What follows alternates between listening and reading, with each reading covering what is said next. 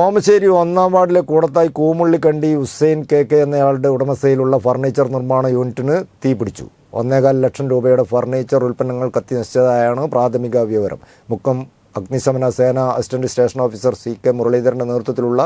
രണ്ട് യൂണിറ്റ് സ്ഥലത്തെത്തി നാട്ടുകാരോടൊപ്പം ചേർന്ന് തീയണയ്ക്കുകയായിരുന്നു